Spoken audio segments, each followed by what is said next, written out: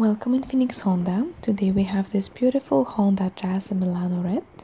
This car comes in a 1.3 petrol engine, manual.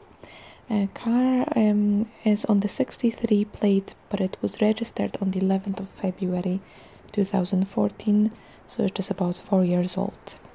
Uh, this car has about 36,400 miles on the clock, so not a lot, and it's ES specification, so it's the middle of the range.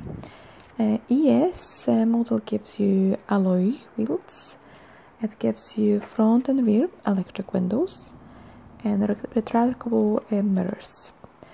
Uh, on the steering wheel, which is leather, you have a cruise control, and you can see uh, uh, all the controls. And once again, you can see that the car has about 36,400 miles on the clock.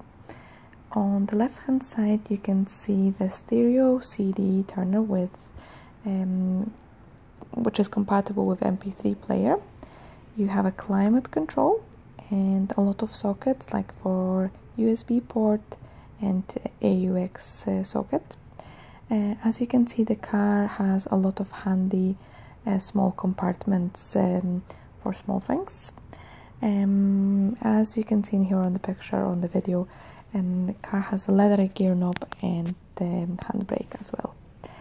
Uh, car is very spacious. It's immaculate condition outside and inside as well, and it's really great to drive.